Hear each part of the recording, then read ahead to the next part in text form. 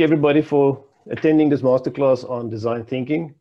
I think it's going to be an interesting discussion. We've got a, a, a very experienced and well-known uh, guest speaker who's going to be presenting uh, on the subject matter. And we've also got two uh, South African-based uh, entrepreneurs and experts on design thinking and innovation as part of our panel for discussion just after the, uh, the presentation is completed. So uh, um, I think we've got about 80 people signed in at this stage. So just, if, if we can start, I think we can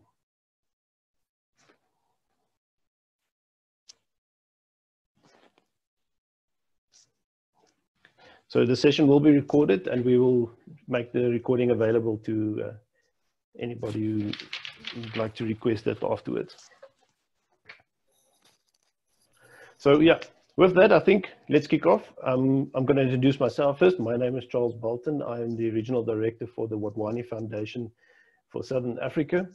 Uh, I would like to welcome everybody, all our panelists, our presenter, but most importantly, our students and entrepreneurs from around uh, various regions of the world attending today. Um, thank you for putting the time aside to, to, to be with us. Um, I'm going to introduce uh, Dr. Kaustubh Dalgalkar. I hope I pronounced the surname correctly. I've, uh, yes. So, uh, Kaustubh is an expert and uh, um, innovator and uh, entrepreneur himself, but most importantly, he's an author on the subject of uh, design thinking. He's also a consultant to various organizations uh, in, within the academic space and the corporate space on design thinking and innovation. Uh, he's a world-renowned uh, expert on the subject matter, um, also an academic himself. And uh, with that, I think um, I'm going to hand over uh, to uh, um, to, begin with. But uh, before we start off, I would just like to welcome our two panelists as well. We've got two uh, experts from our South African region attending today as well. Um, we've got Zanele uh, is an expert herself, Zanele Njapa. She's an expert on uh, innovation. She's also a consultant and author, but most importantly, an entrepreneur as well. Um, on the subject of design thinking, she's applied that and she consults with a number of large organizations and uh, within the region. And she's also a well-known speaker on the subject matter and an author as well. So we've got, uh, you know, some uh, very well accomplished local expertise on board as well. Uh, then we've got Jennifer Sutherland. Uh, Jennifer is also an expert on innovation. Uh, she's an entrepreneur herself. Um, she consults with large organizations on innovation and design thinking and uh, very much uh, an expert in her own right as well. So welcome to Jennifer and Zanele and we're going to get them on board into the discussion just uh, after um, Kaustubh's completed his uh, presentation and his talk on the subject. So uh, welcome everybody. I hope you enjoy it. I think this is going to be a very relaxed uh, discussion and uh, hopefully uh, our entrepreneurs will please ask us questions, send the questions via the Q&A. Uh, we will revert the questions to the panelists and the speakers as soon as the, the panel starts and then we will get some answers from them. So please send your questions via the Q&A and uh, I will revert the, to them after the session. So Kaustubh, thank you very much. And with that, over to you. All right. Uh, first of all, a big thank you, uh, Foundation uh, Southern Africa for inviting us over. Uh, thank you, Charles. Thank you, Komsa, for uh, the generous introduction. Can I uh, get to share my screen, please? I have a deck to share. So, yeah. Okay, is it visible, my screen, to everybody? Yes, it is. Thanks. Okay. So, yeah. So, broadly, I'm going to take maybe about 17 to 20 minutes totally uh, basically talking about the concept of design thinking and its applications with real examples. So let's keep the theory out and let's get into actual practical examples. So uh, without uh, going too much into the theoretical part, just to give an introduction, so to say, uh, about what is design thinking. It is a highly user-centric, exploratory and iterative approach to problem solving. What it means is that it keeps the user at the center throughout the problem solving process, right from understanding the problem to defining the problem, to be able to generate ideas around the rightly defined problem because many a times we define the problem from our perspective but the user defines that same problem from a completely different perspective and it is extremely important for us to understand that user's perspective. Hence uh, the keeping the user at the center throughout the problem solving exercise or the process is extremely important.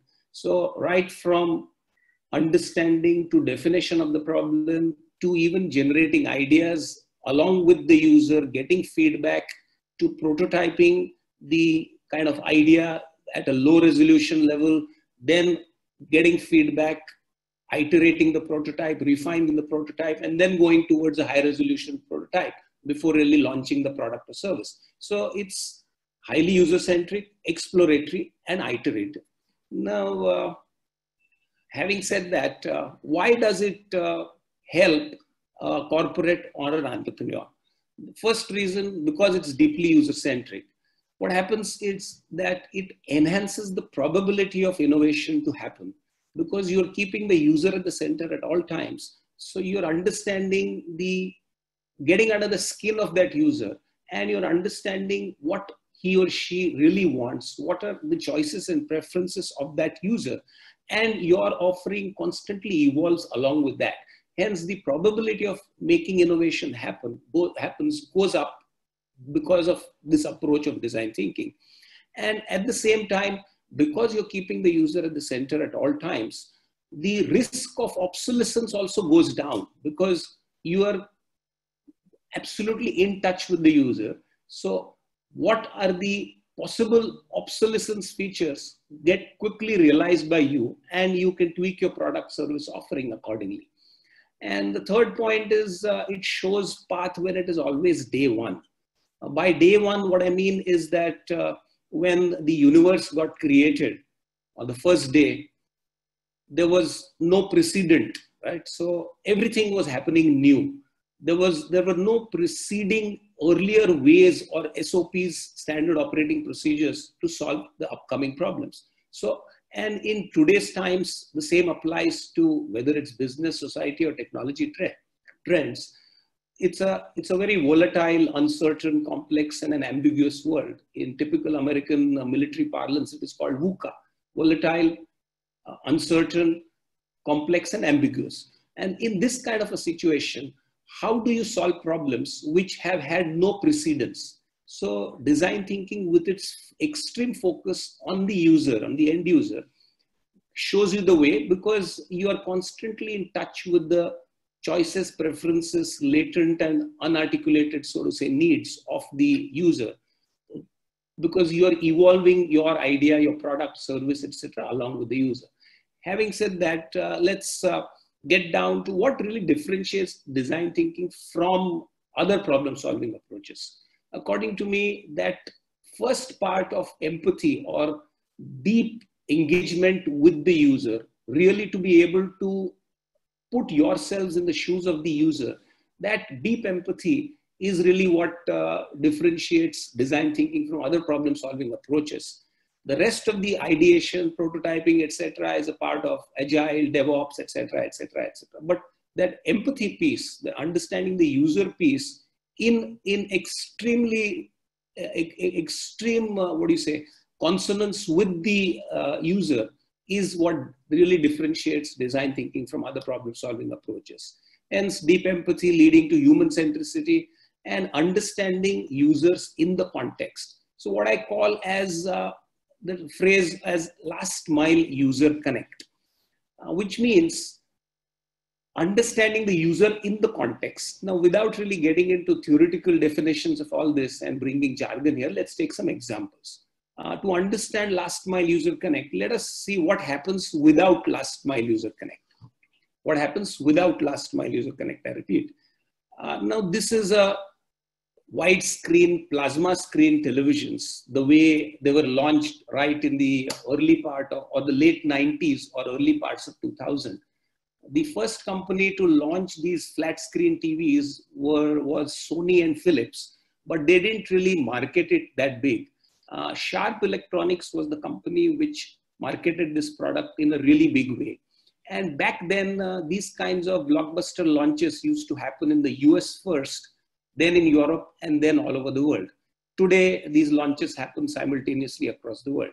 So this product was launched, uh, I think, in the year of 2000 or 2001 uh, on what is called as Black Friday. Black Friday is the Friday after Thanksgiving Thursday, which is invariably the second last uh, Friday of uh, November that's when the Christmas pre-New Year sales open up across the Western Hemisphere.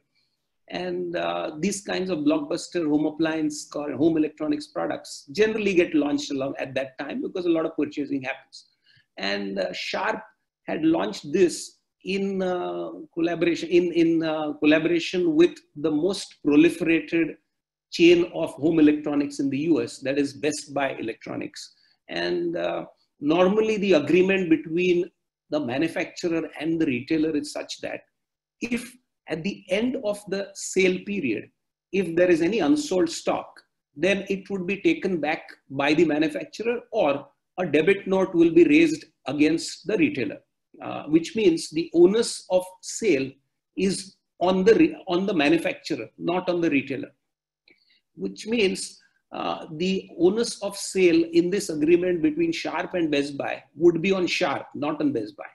Now, Sharp with uh, saying that this product is so much superior to the existing cathode ray tube televisions which existed back then.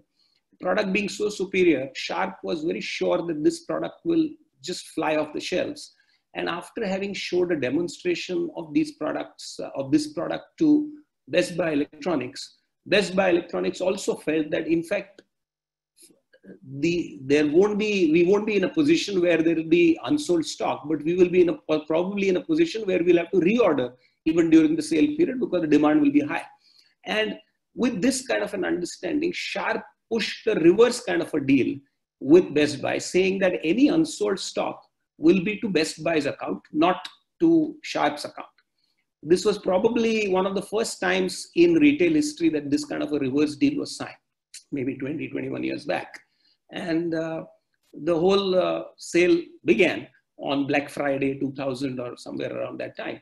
Uh, and uh, thinking that this product will really fly off the shelves, uh, it was launched with a lot of pomp and show.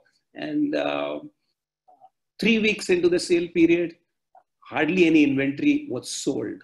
Best Buy was really under tension that this product, which we had anticipated would really fly off the shelves, is not selling. Barely 5 6% of their inventory was sold. And then uh, obviously there was pressure from the senior management at Best Buy. So instructions came from the CEO that uh, to all store managers across the country that please check out in your catchment areas. Catchment area is about a 20 mile radius, so to say, around the store. Uh, instructions, instructions came from the CEO down to all store managers saying that in your catchment areas, please check with people why they're not buying such a superior product. Because this was way, way superior than what existed back then. It was superior in terms of looks. It was better designed in terms of internal electronics. It was better designed in terms of uh, better performance everything was so much better than the old cathode ray tube television.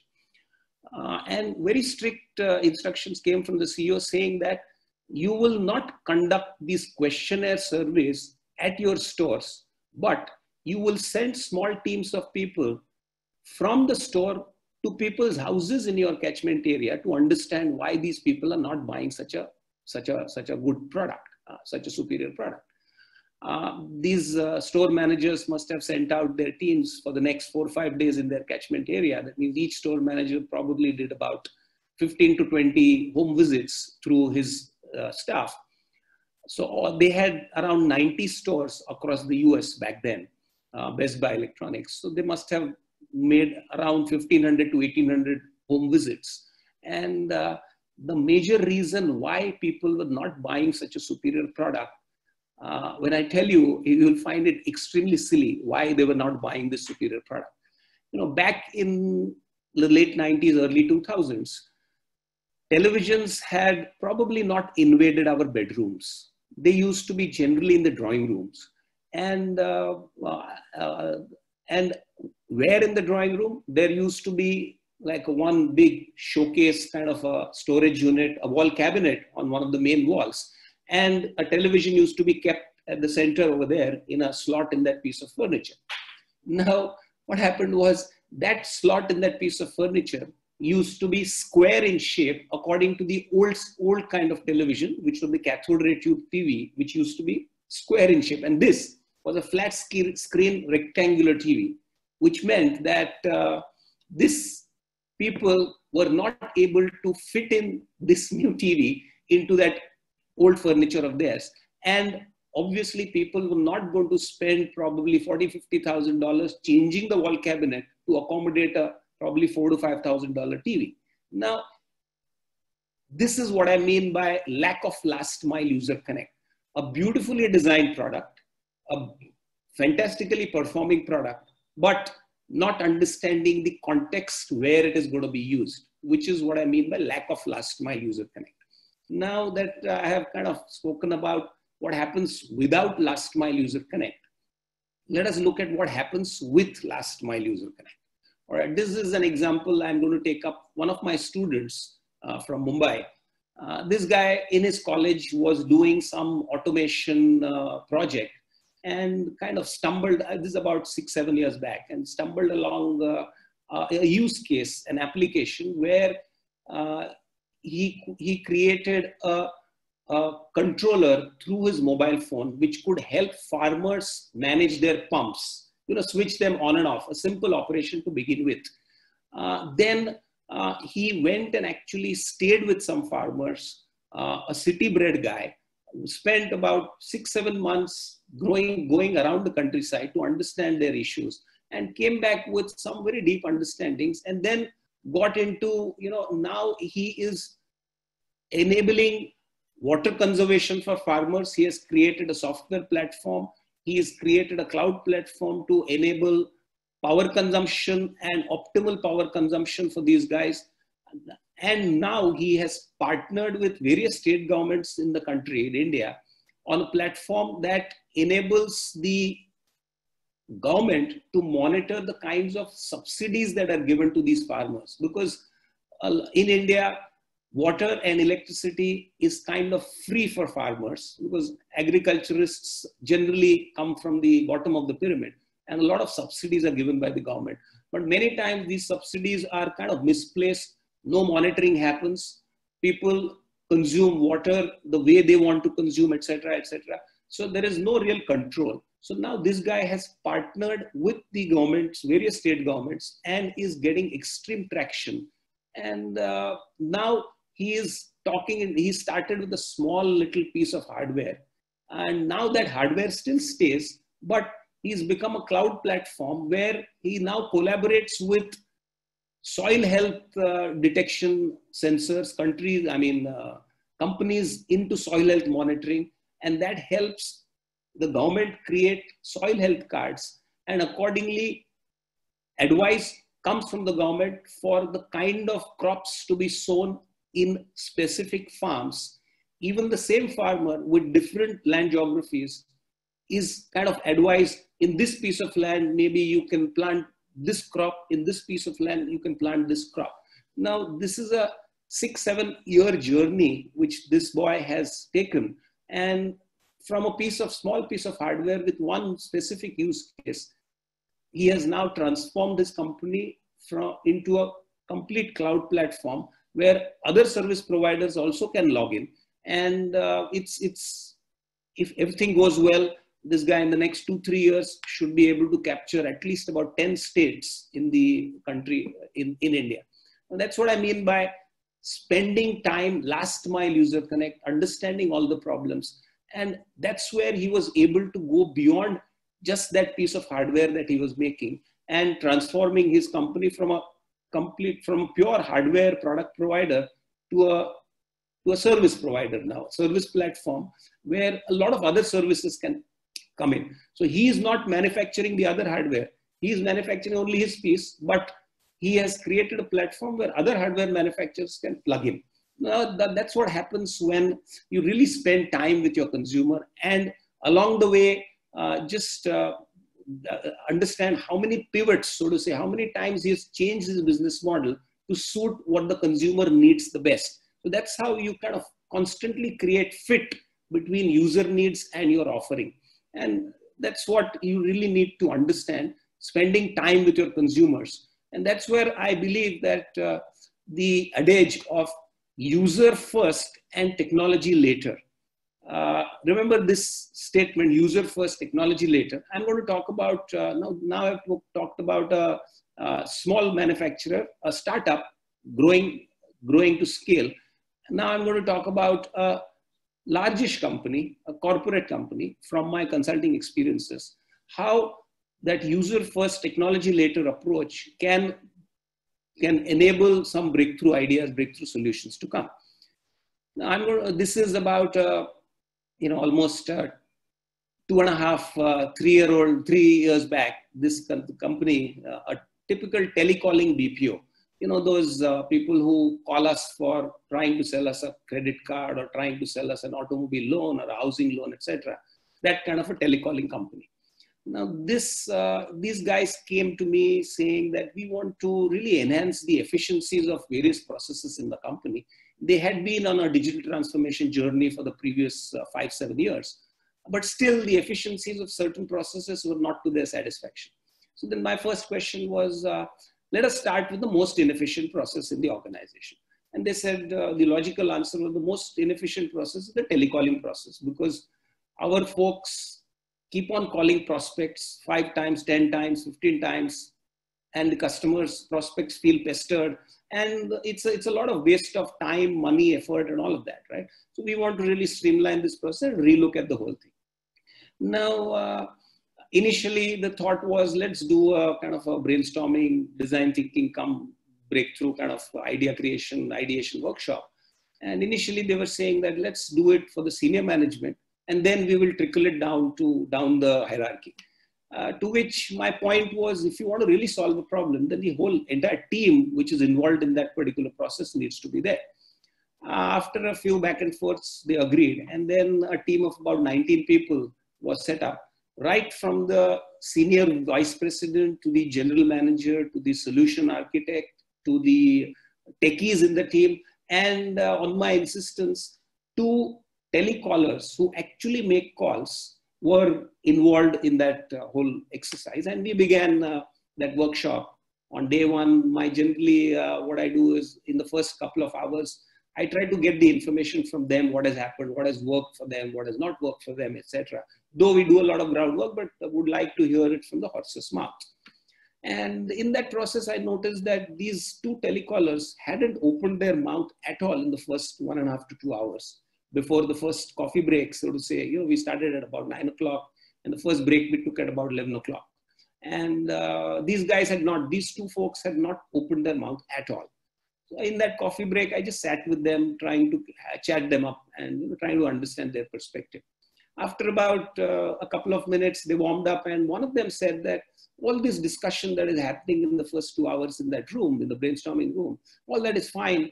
Uh, because senior management was throwing a lot of uh, you know statistical details and we have done this and six sigma analysis and x y z etc etc etc but he said that the moment I pick up my receiver and talk to a prospect, and when I carry on a conversation, when I make a call to a prospect, in the first five to six sentences of hearing the prospect talking, I kind of can judge the voice tone of that person, and I kind of get a gut feeling that this call may convert, may not convert, this may need a little push, how much of a push this will need, etc., etc.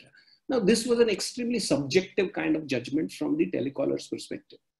And uh, this really interested me, and I said, let's talk about this. So, when we restarted the workshop after the coffee break, uh, I made him explain, it made him talk whatever he, he had spoken to me during the break.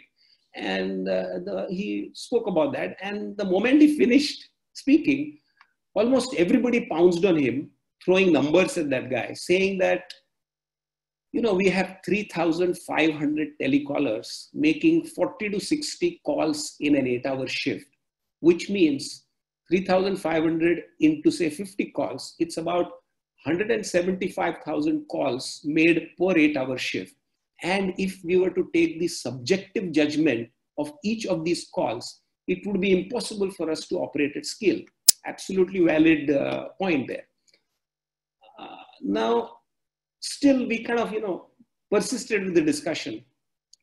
And then uh, about 10, 12, maybe 15 minutes into the discussion, one of the techies in the group said that, what are you talking about? You're talking about judging the intent by voice tone. So basically, you're talking about analyzing voice. Voice tone is basically a sound wave, and sound wave has amplitude, sound wave has wavelength, and sound waves have frequency. And these three are perfectly measurable, absolutely quantifiably measurable. And uh, we need to look at that perspective also. Then my next question was, uh, do you have old call log records which are recorded Remember, when these people call us, they always say this, uh, this call will be recorded for training and quality purposes, which means they do record certain calls. Uh, so the next question was, how many calls do you have recorded over the previous years of operation? Then immediately somebody was sent out to find that information. In two, three minutes, that guy came back saying that they had call logs, recorded call logs of 4.5 million calls made over the previous eight to 10 years of their operations. Now that's a huge data set. Now uh, the question was, how do you understand the voice tone involved in each of these 4.5 million calls? And how do you correlate with the outcome? So then the next question was, are the outcomes of these 4 million calls also documented? They said yes. Then it was a question of recognizing the pattern between the voice tone of 4.5 million call logs with the outcomes of these call logs.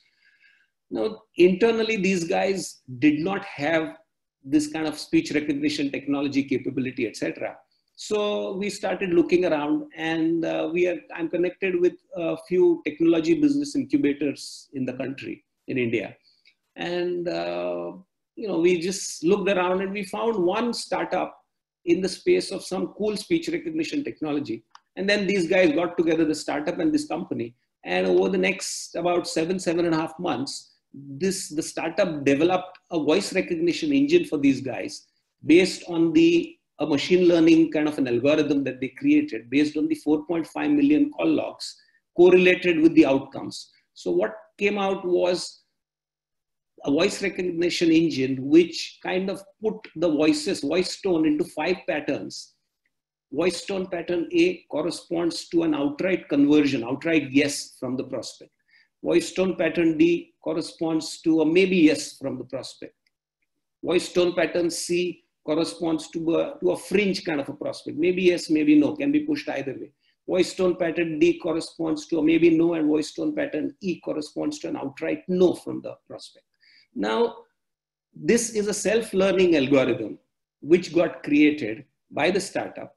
And now about you know just before this lockdown and all that has happened in february i had checked with these uh, with the bpo and it being a self-learning algorithm they have now reached a stage where when a telecaller calls a prospect within the first 12 words that the prospect utters that prospect's voice tone is analyzed by the backend voice engine and is categorized into whether pattern a b c d or e.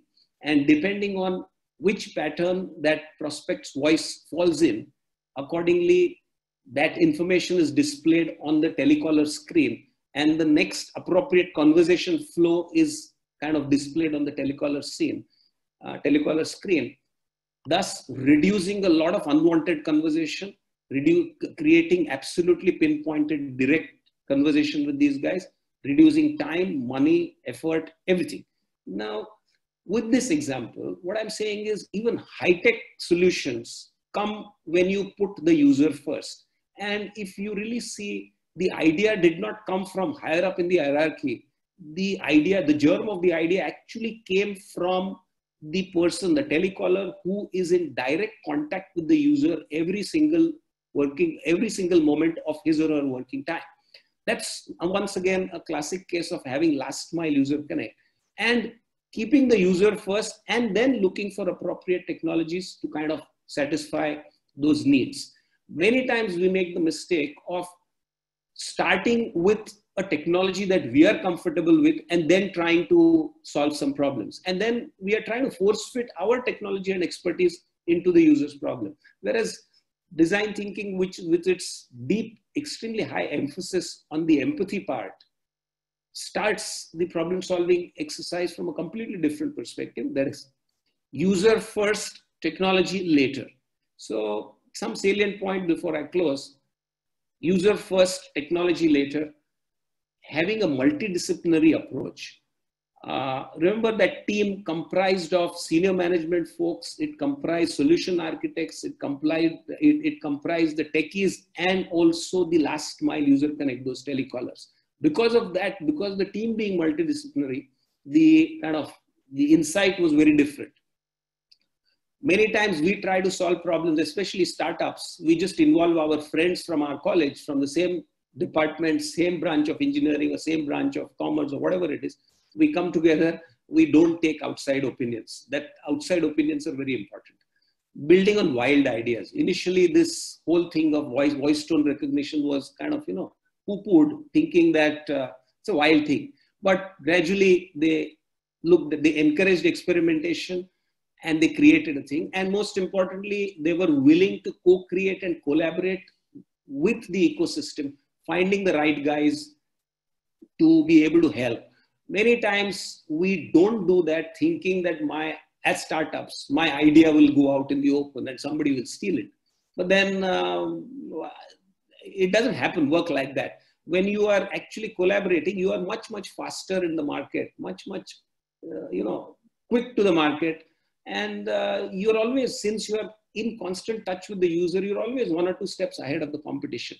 Of course it might happen but uh, collaboration co-creation all these things uh, uh, principles of design thinking i feel very strongly that in the startup ecosystem we really need to inculcate all of that with that, I will stop here and, uh, you know, over to you, Charles, uh, and for the further conversation. Thank you, Kaustubh. That was uh, that was very very informative, and I think uh, our students uh, can relate to a lot of the information and the statements that you've made and information that you shared. We've got a fairly long list of questions, but I think before we start with the Q&A session from the uh, attendees, uh, I would like from our panelists, if they can perhaps uh, give us some input uh, or have some questions that they would like to ask you. So I would uh, ask, uh, um, perhaps let's start with Jennifer and then Zanele, your feedback. So Jennifer, over to you if you've got any questions for Kaustubh. Any feedback from your side, response? I really like the user first technology later as a as a kind of a principle because I don't think it's it's really specified and often startups go with the technology later or the technology first and user later like how can we put this in um, I was wondering how you got leadership buy-in into the BPO company to consider things a little bit differently because I think that's one of the key um, pillars of design thinking is the mindset and having the leadership with the right mindset is critical um, so I was wondering how you did that. Uh, you asking me a question? Yeah, okay. Uh, see, initially there was resistance. You know, they quickly jumped to numbers, as I said. We have 3,510 callers making these, these, these, and it's impossible to kind of get in subjective judgment of each one. But then it was tough. Uh, but giving examples of certain things from the past consulting experience, showing them use cases where this happened, where uh, uh, even, uh, I mean, throwing open even failures also, throwing open uh, some situations where some ideas came up and that company did not act, but the competitor acted on it. So that way it kind of opened up uh, the conversation. And in this particular case, the management was fairly open. you know, it wasn't too much of a case of banging your head against a wall in this particular case. But in other cases, yes, it happens. So in that case, uh, it's about uh, trying to visualize use cases. If this idea is not adopted, what might happen? And if this adopt, if the idea is adopted, I think in my practice, that's what I've realized works. All right. I'll Jennifer's if Jennifer's all answered, then then I'll go next. I think uh, definitely I absolutely can resonate with that user first, tech later, and it's a brilliant concept. And I think that I'd like to carry on with um, going forward. But another one that definitely stepped out for me was uh, your last mile user con- connect, and and that's really just such a, a trend that we see consistently with with startups and and even um, medium-sized organizations and even large organizations and corporates that I've worked with at this stage are now needing to come back to that. And, and what we want is not having to come back to that because we've uh, taken the, the wrong path, but we want to make sure that from the beginning, that's something that we touch base with. And before I ask you my question, I want to uh, speak about an example that actually came to mind when you, when you gave some of your, your absolutely lovely case studies was the story of Black and Decker.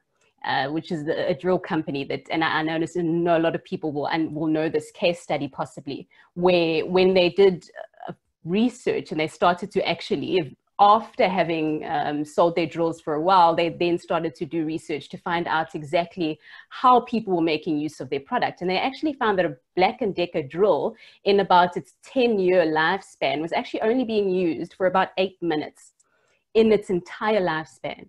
And so when they started to realize that insight, they had to then go back and say, okay, so actually what we're doing is we're investing in making our drills smarter. We're making them easier to handle. All of these lovely innovations and shiny new toys that we're adding to make them more efficient, only for them to only work for about eight minutes and then never work again.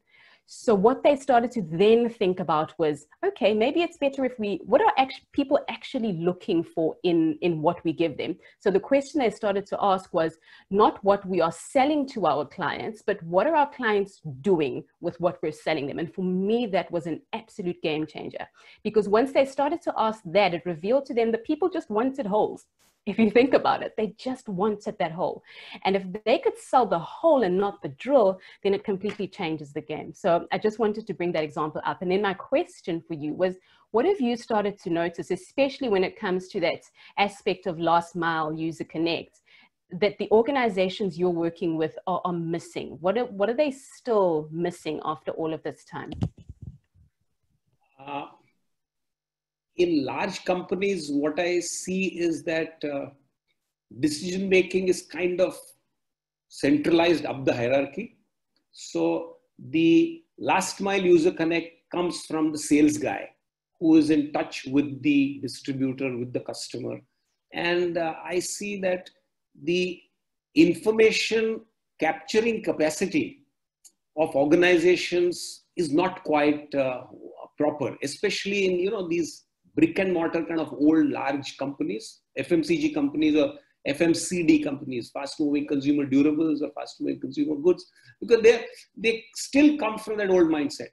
Uh, so now now it is changing with analytics coming in, with you know portable uh, information feeding devices, either tabs or mobile phones, where the sales guy can quickly capture that information and it is provided to decision makers soon enough that's that's changing. I mean, at least in India, I'm seeing that happening over the last seven, eight years. Uh, though Indian companies have been giving these solutions because of the IT expertise to a lot, lot of overseas Western companies, but Indian companies were late to adopt that kind of a thing. So those platforms to capture that last mile uh, information and some you know formats in which this can become institutional intelligence, so to say, the company's intelligence engine, which can be accessible to all people across the hierarchies for decision making. That still, I feel, uh, is missing in some of the FMCG and you know even automobile companies, uh, etc. that I've worked with. I, I find that uh, missing. Thank you so much. Thank, and thank you, in startups, of course, startups many times we are just overawed with the technology that we've created that we think, oh, I have created the best possible technology, and the moment I enter the market, people are going to fall flat at my feet and going to buy, buy, buy my stuff. That's what, of course, that's the exuberance of youth. It helps also, but many times you kind of miss that last mile user connect. And what I've seen is the mistakes that you make when you roll out, your competition is quick to grab that and makes those corrections, and your first mover advantage is somewhere gone. So, in a lot of industries, I've noticed that the first movers are not the leaders. It is the third or the fourth entrant which has kind of taken over that industry. That's my observation. And I think it's an age old thing that's been happening. Look at HP, IBM, etc., etc. You know, those kind of things. Anyway, yeah. Thanks. Thank you, Kaustubh. Um, we've got a number of questions from the attendees. Um, first on, um, there's a question on, can you elaborate a little bit on the meaning of iterative processes?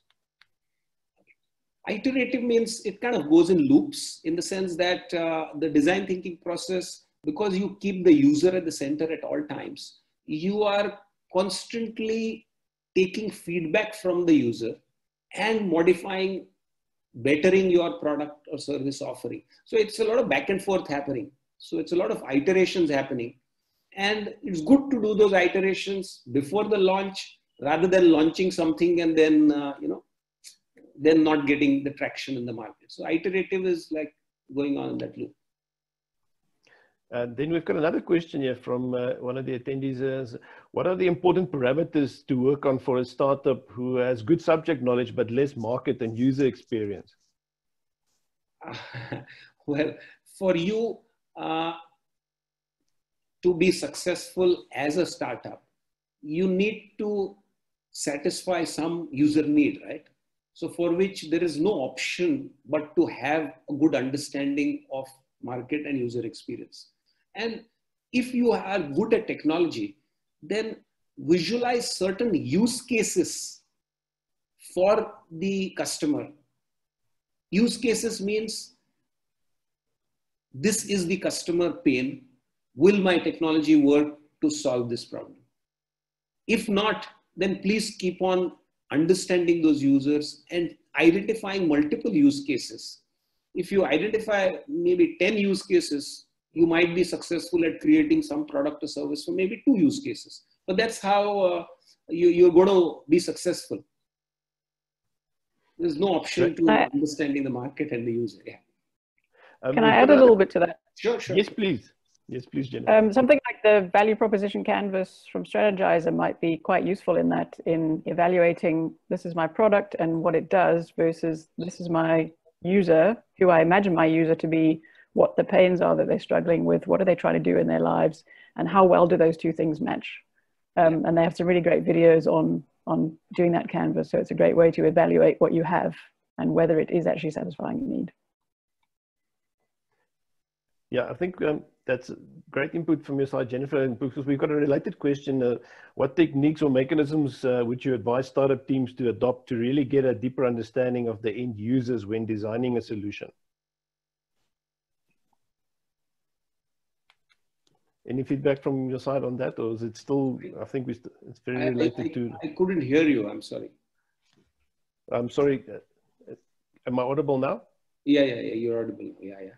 Now the question was, what techniques or mechanisms would you advise startup teams to adopt to really get a good and a deeper understanding of the end users when they're designing solutions? Would uh, Would you want to take it, either Zanele, Jennifer? I mean, you are. Any, can we have any feedback from our panelists, Jennifer, Zanele? Um, well, talk to them. That's the easiest and cheapest and doesn't require a whole lot of training.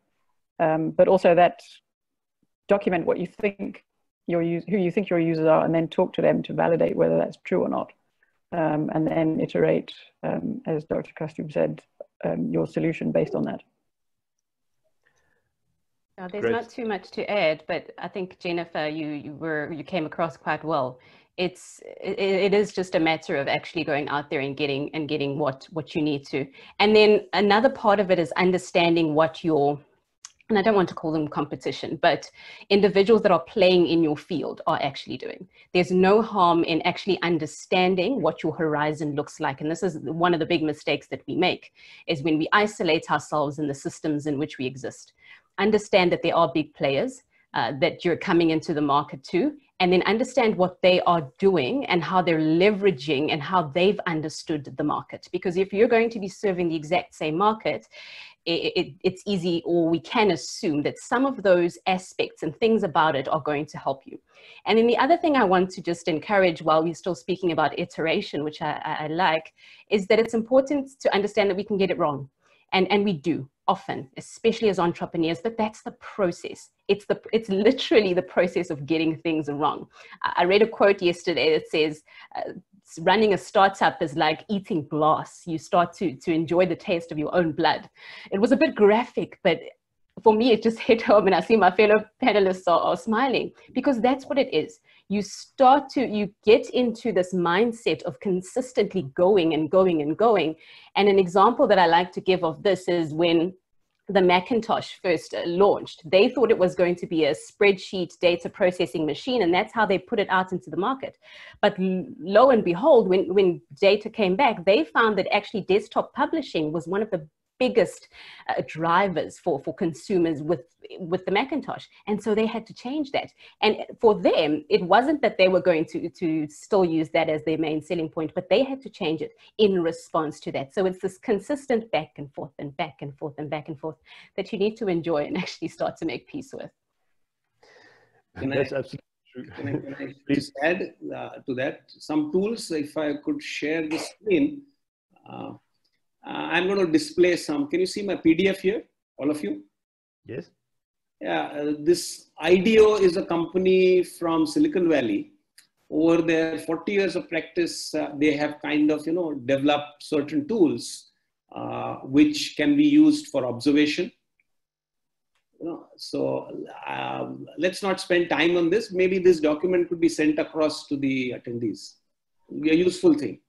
Uh, that is. we ask concrete tools and something that I rely on a lot is this user journey mapping, where uh, you understand what are the tasks that the user is going through to perform those tasks, what are the steps that they follow, and at each of these steps, what are the touch points, devices, interfaces that they come in contact with, and at each step, what is the pain, gain, emotions, experiences, feelings that they face. So maybe you could uh, you know, I can pass these documents across and uh, you can send it across to the attendees. I think, thank you, uh, Kaustubh. That would be great because we've had a number of uh, requests on that subject. You know, what tools are available for entrepreneurs to use uh, to develop their own design thinking processes within their businesses. Um, uh, so another question that's now popped up from a couple of people is why is design thinking not more widely included in the education system globally. Any response from our panelists and our presenter on that? well, I can speak uh, from maybe the uh, Indian perspective. Uh, a little bit of education overseas, abroad also, my exposure.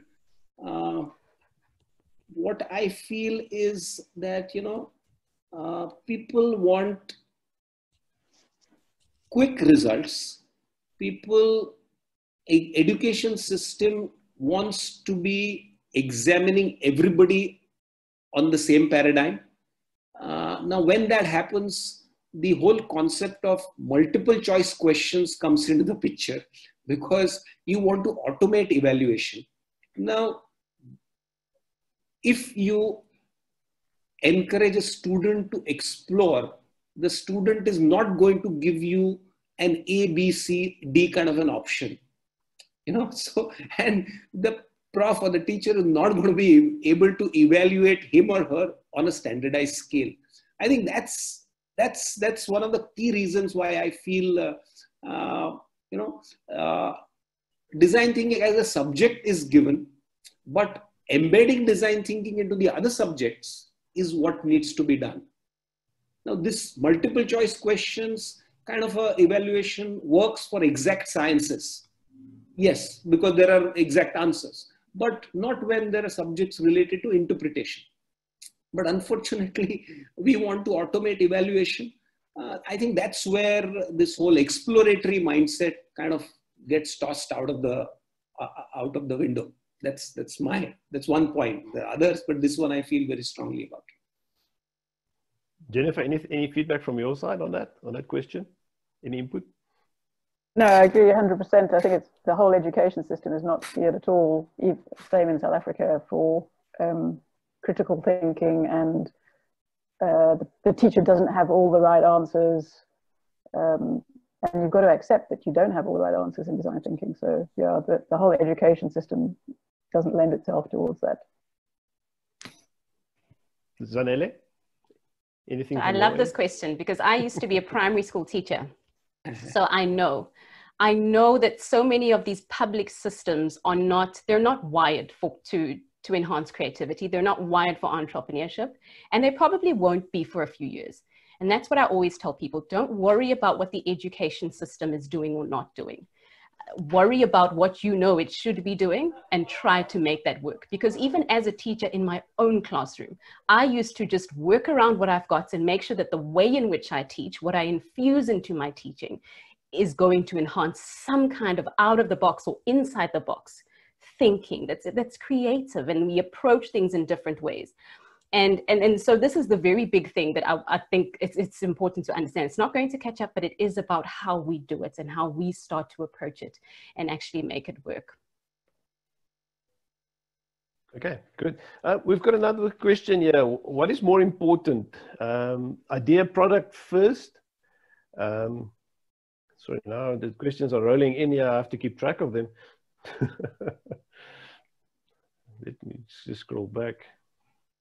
Sorry about that. I was reading questions and then all of a sudden the platform updated. Uh, so yeah, the question was, uh, what is more important, the idea, the product first, uh, then survey and feedback, or first the survey and then plan the product? Any feedback from your side, Kaustubh, on that? Uh, well, I would look at it from two perspectives. Uh, as a startup, we always start with an idea. Yeah. Uh, but it is important to understand who are you going to sell that idea to. And that's where your feedback from the user begins.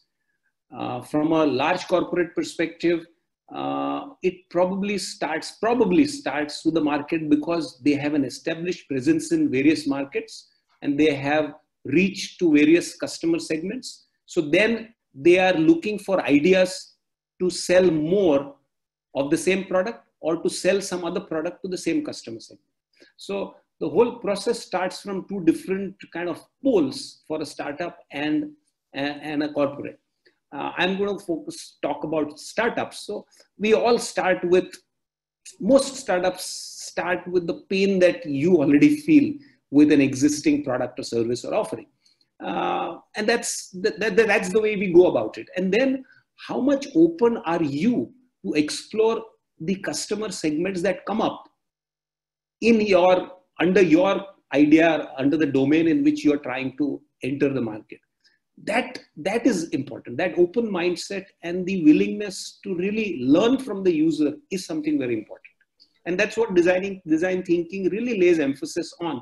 And as i uh, as all of us uh, talked about various tools and those two templates which we talked about those are some very simple techniques which we can use to get a lot of insights which are unsaid by the end user. Unsaid being the real term, because when you go to a customer with a ready questionnaire, I don't think you really get, you know, real information. You need to be able to develop the art and skill of trying to get to the unsaid things. And that's what uh, some of these tools help. Uh, any feedback from your side, Zanele, Jennifer, on that question? The, the question was, what is more important, uh, idea product first, uh, and then the survey feedback, or the first do the survey and then plan the product? I don't have much to add to uh, Dr. Kaustubh, but I think um, corporates, especially, but even an entrepreneur, can should constantly engage with their customers and their users because people change. You know, just because your customer wants X now doesn't mean in two, two years' time or six months' time they, they want the same things. So there's always that iterative how can we make the product more relevant to who our customers are now, which is especially relevant now in, in, in these times, is our customers under COVID are have some quite different challenges and and needs that they didn't have a year ago. Um, so how can we adapt what we're doing based on that? Awesome. To add to what Jennifer was saying, it, it really matters very little which one comes first because and, and this is the great thing uh, dr kaustubh spoke about with the design thinking as a framework because it's so fluid and can be um, can be practiced in so many different ways it allows you to go back and forth and back and forth. And there isn't necessarily a first step that's that's set in stone. And this is the beautiful thing about the process is that you can go back and forth and back and forth and back and forth between each and every one. Obviously you do want to consider what your investment would be if you develop a product that's not necessarily speaking to your market then that's probably not a great idea. Uh, so it's that consideration of going through the process but understanding that that process is, is consistently fluid and based on the results that you've gotten from the phase that you're working in that will then inform how you go forward so there's no plan that needs to be set in stone which i think is a is a beautiful thing about about design thinking overall We've got an interesting question here, and I think uh, if we can get some feedback from each of you. The question is, what's the difference between design thinking and outcome-driven innovation? And which of the two, two, is the better tool to use? So it's a two-part question. Um, Doctor? Me? Okay. Yeah, please. I think uh, these are jargons which get thrown around to confuse people.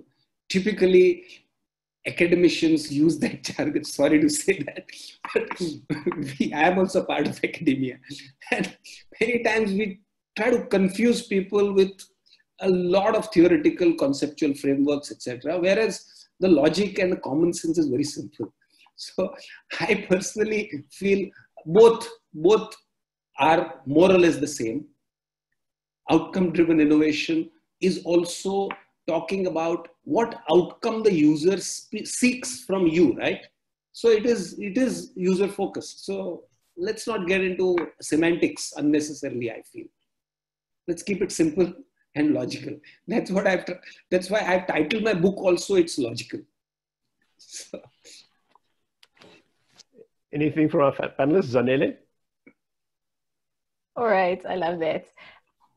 I would also say very much of the same thing. And it depends on what your outcome is.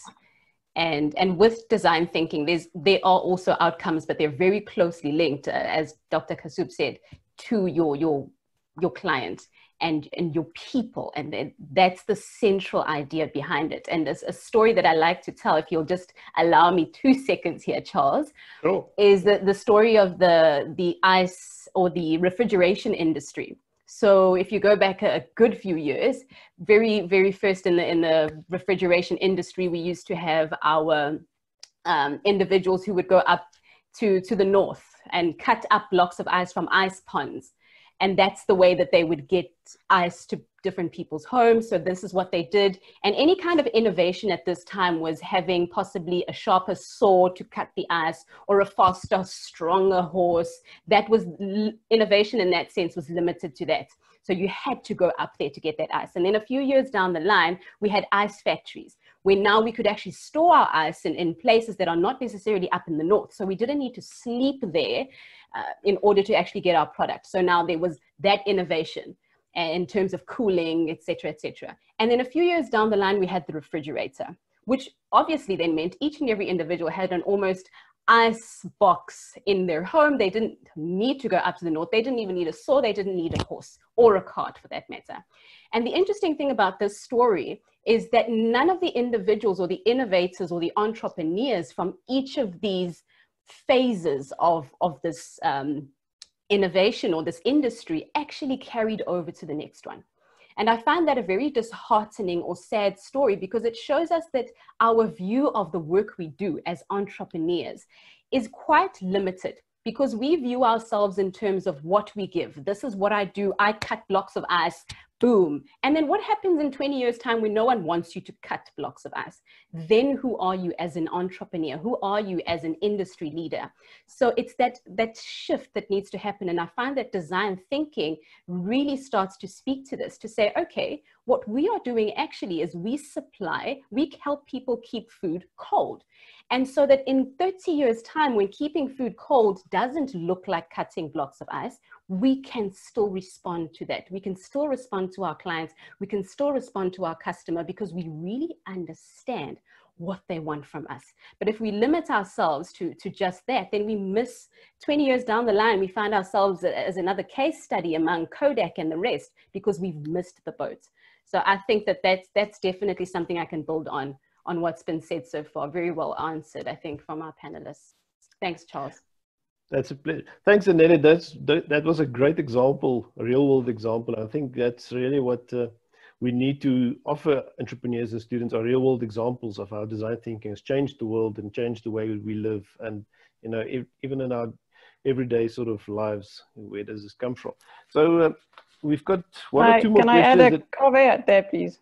Yes, please, Jennifer. Sorry, my apologies for not uh, no, it's cool. referring to you. Um, one thing that I'm very um, obstinate about is that there, there isn't only one methodology that's right. So when you say what's the better tool, it's always contextual. Um, people are always talking about service design or journey mapping or customer experience or uh, lean startup or innovation. You can mix and match these things depending on what you're trying to solve. So don't get too dogmatically stuck on design thinking and design thinking's process.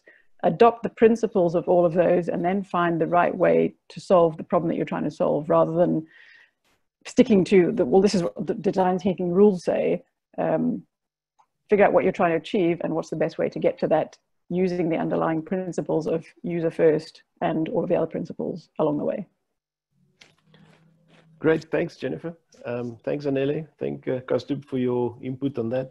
I think we've got time for one more question. Uh, we're running out of time, we've got five minutes left and then uh, we're gonna ask the, all the attendees and the panelists just to answer a quick one question survey. But uh, I think uh, final questions uh, from the audience. we've got a, a question here that says, most large companies focus on horizontal progression rather than vertical progress, which feeds very well into design thinking.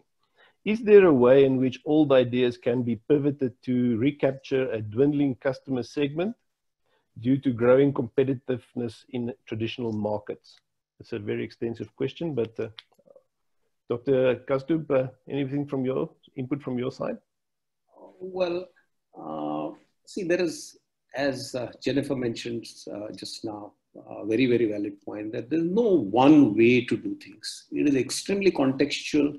Uh, so uh, trying to fit everything under one blanket, not possible. So what is the segment that you're looking at? What is the industry that you are looking at? And responding that way uh, is, is what should be done. Having said that, are there some basic principles in which you can uh, kind of differentiate yourself in a crowded market, in a dwindling customer segment?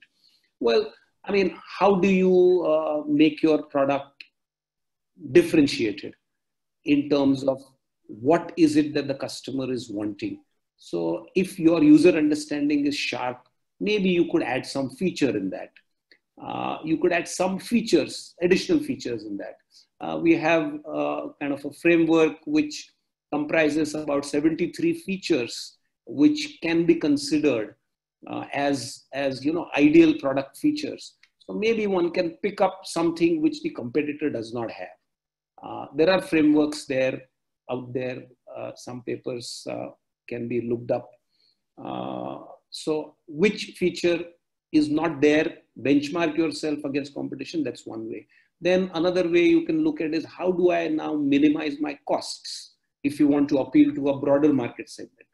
Now, in which case, are there any principles to do that? Well, uh, to cut costs, maybe try and identify some uh, idle assets in the supply chain who do not have work and who you can use as your vendors to be able to minimize your costs. So that's one way of looking at the whole business model to minimize your costs.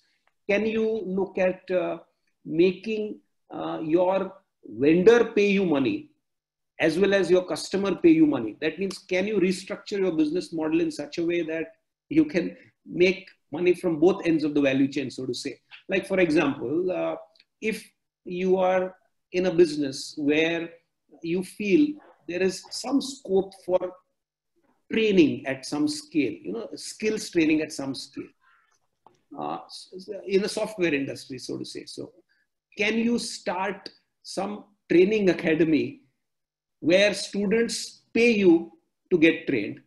And on the other side, customers also pay you to get some systems developed. Now, can you use student interns from your training academy as interns to actually create the systems also, help you create the system also. So you are basically cutting your costs of production by making money from the customer side as well as from your supplier side. So these are some tools, techniques, or rather some, some set ways in which you can explore what works in your context. I, that's really contextual. And especially today, post the pandemic, I see a lot of supply chains which are broken, which means there is a lot of idle capacity which is there in the supply chains which is not being utilized. Can you creatively utilize those uh, idle capacities in the supply chain to actually lower your prices but still maintain the same quality? That way you could expand your market base also. This is some things which come to my mind offhand. Open to others, please. Jennifer, anything from your side? Any input? That last that last point is interesting. It, it talks to a lot of the companies in this current pandemic, like SAB or some of the alcohol manufacturers repurposing to make sanitizer. So we can't make beer as much as we were before. Well, let's repurpose our assets to make something else. But I think there are ways to take an old idea and, and recombine it and to say, well, what if we combine this idea with this idea? Or what if we put this solution into this market? What is it, what does it need to be to to uh, work for that that customer segment? Um, so rather than just trying to milk a dead cow, um, try and find some new cows. Very valid, Zanele. Yours, anything from your side? Sorry, I'm laughing at the new cow um, example. Just to add to what, what Jennifer said, and I won't go too too far now because we're running out of time, but the, the, really great thing about startups is that you've got this nimbleness, this consistent nimbleness. And Dr. Kaustubh, you spoke earlier in the beginning about how a lot of organizations are experiencing the challenge of decision making that has to has this hierarchical structure where it's not so fluid uh, for decisions to be made. So I think that this is one of the the really great things about startups that there's this nimbleness and this ability to consistently make decisions at, at a very fast pace. And so experimentation is one thing that I want to strongly advise but looking at small business units because the risk is quite high, uh, depending on how you're experimenting and what you're investing into it. The, the risk can be quite high. So I want to just advise something that IBM did, and they called it their EBOs or emerging business opportunities, where they created these smaller business units within the bigger uh, I, uh, IBM frame so that they could experiment, make decisions faster, execute, go out into markets, get feedback, and then actually start production without having to go all the way to the guy right at the top, but make those decisions quite quickly. And to add on to what Jennifer was saying, it's okay. So many organizations have done it. If we look at Coca Cola, they started as uh, selling pharmaceutical products. Colgate once explored frozen foods. Nokia started as a paper mill. So it happens. And sometimes the company could look completely different from what we know it to be, but that's just the way that this works. Thank you so much, Charles. Thank you very much. Thank you to all our panelists, to our presenters. Um, thank you very much. And I think thanks to all our attendees. Uh, we had a 138 people attending the seminar. I think that is a great, uh, a, a, great attendance number. Um, we're going to close off, and uh, but before we do, there's a question that we're going to post just for quick uh, survey from all our panelists and our attendees, please. It's a one question uh, response, guys. So uh, again, from our side, from the foundation side, thank you very much for your time. Thank you for your input. And uh, hopefully we can do this again. And I believe the, the, the, feedback that we've got, there's so many questions coming in. I don't think we're going to have time to answer anything more, but uh, we'll try and uh, revert, if possible, to perhaps yourselves for some feedback on these questions. But uh, again, thank you. And uh, from my side and everybody else side, have a great day and hope we can speak again soon. Thanks a lot. Okay. Any final closing from your side, uh, Jennifer, Zanele, Dr. Kaustubh? Any final remarks? No. Just try, just go out there and do something. It's also called design doing because it's not about thinking too much. It's about getting out there and doing something. So do something and then see if it works. Don't, don't let too much analysis lead to paralysis. I love that. Nazane? Okay. So Nomsa, if you can uh, close us off and uh, post the question, then I think uh, we're going to say goodbye. Thank you, everybody, and hope to see you all soon on our next uh, webinar.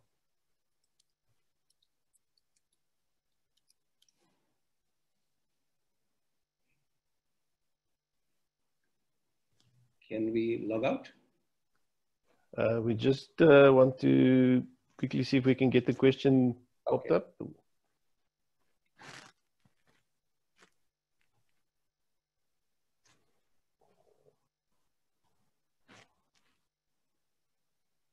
Nomsa, are you winning? I see she did post the question, but now it's gone all the way up in the chat. Charles, I've posted it on the chat. Oh, so you posted it in the chat. So yeah, if you, if any, everybody just give us your feedback on the chat, uh, and then uh, I was hoping to have a question that we can pop up on the screen for a quick response. Uh, well, the question was, would you recommend the Wadhwani Foundation session to fellow colleagues? And uh, please share with us any other topics of interest for future consideration that we can uh, perhaps host. So uh, we would like a response on that just on the chat bit now. And with that, once you've responded, we're welcome to sign off. Thank you very much.